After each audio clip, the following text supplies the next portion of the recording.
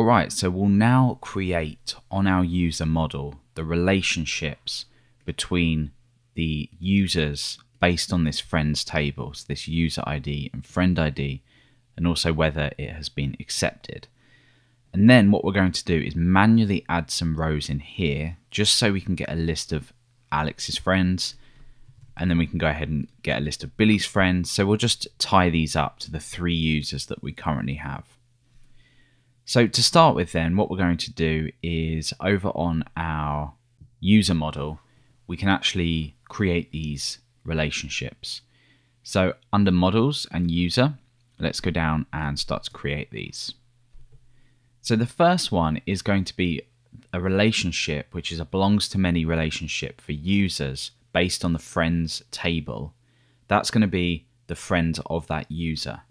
And then we're going to have another method, which is going to be users who have this user as a friend. So it's kind of like a two-way thing. Your friend and then who has you as a friend. And this way we can kind of combine everything and work out who who's friends with who. So let's start with the first one. We're going to call this friends of mine. And in here, we're going to return this belongs to many. So we have a relationship here. And of course we have chatty models user. So this is the user model, but we are tying this relationship to this to the user model. So we're we're relating it to itself basically. The pivot table is friends. We've just created that table. And we're matching these up by the user ID and then the friend ID is our foreign key. So we have this relationship created. This, remember, is friends of that user. Now we want users who have this user as a friend. So we're going to say public function friend of. I'm going to do pretty much the same thing. So this belongs to many. We're going to have the same model in here. Obviously the same pivot table. This time though, it's going to be a little bit different. It's going to be uh, the other way around. So friends ID or friend ID and user ID. So we've got a two-way relationship here, which will give us the flexibility we need to work out who's friends with who, who isn't friends with who, uh, a list of our friends, etc. So now we want a general method for the current user's friends, or at least represented by this user model. So we're just going to have a method that name that makes sense, which is just friends. So here, this is a little bit different. Remember, inside of our table, we have accepted. So user ID could, for example, be 1. Friend ID could be 2. So Alex has added Dale as a friend. Dale might not have accepted, so accepted would be zero to start with. And then when she does accept, then we have a condition in here to only pull back accepted friends. So we're going to write out this now, and then we're going to test what kind of data we get through from this. So we're going to say return this friends of mine. So remember, this friends of mine here is the friends of this user. And we're going to say where pivot, so that's the pivot table, which is the friends table, accepted is true. So it's pulling back friends of this user where the user has accepted. Now, it works in the same, it, it kind of works in two ways because if, for example, let's go back to users table, if Alex adds Dale, that will be user ID 1 and then user ID 2. So that would mean that Alex's friends is Dale, but Dale's then not friends with Alex, even though they are technically both friends now. So we need to merge in the other side of the relationship so we end up with, uh, you know, Dale being friends with Alex, even though Alex added Dale. Otherwise, we're just going to end up with, you know, Alex being friends with Dale and Dale isn't friends with Alex.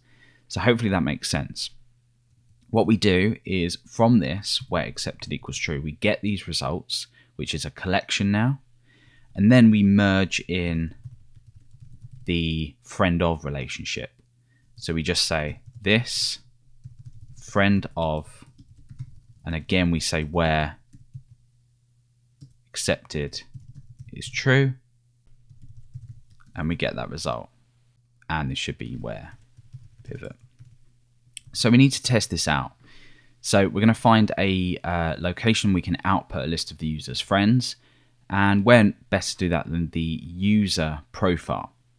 So on the user profile, we have profile.index. We can actually just go ahead and do this straight away. So if we head over to our resources, views, profile, index, we can actually output a list of the friends here. So if we have a, an H4 here and we say user get first name or username. Friends. So let's just preview this. I think we have that method available. Yeah so Alex's friends. And then down here we're going to loop through that new friends method that we've created. So all we do is a quick if statement to check if we do actually have any friends. So we have an else and an end if here. The condition is if not user friends count. You can do this a little bit differently if you want. Then we're just going to say user get first name or username has no friends. Now otherwise, well we can just check this at the moment I shouldn't have any friends. Ah, and you can see here that because we're accessing this relationship it's giving me an error because I've put friends ID rather than friend ID. So let's just quickly fix that up now. So let's find out where that is here. So friends ID, we need to change that. And then, then this should work. So Alex has no friends. So uh, now what we want to do is we want to loop through the friends. So we can say for each and end that for each. User friends as user. And then in here, remember we have our user block template, so we can include that. So user partials, user block. So let's check this out. We sh still should see no friends. But what we can now do is we can manually add a friend in. And we can keep an eye on the results here. And we can even go ahead and keep an eye on the results for Dale as well, so Dale's profile. Let's go ahead and just duplicate this and go over to two users. So we'll keep an eye on both of these, and then we can even add a third user to test them as well. So over in users, we've got user ID 1 and 2. So if we add in 1 and 2 there, we hit enter, still don't have any friends, and we still don't have any friends here either, because this hasn't been accepted. That was the condition. So if I change that to accepted 1, we now have a friend for, uh, for Dale and a friend for Alex. Now remember I said earlier, and just, to, just so this is perfectly clear, when we did friend, we uh, merged in the other relationship.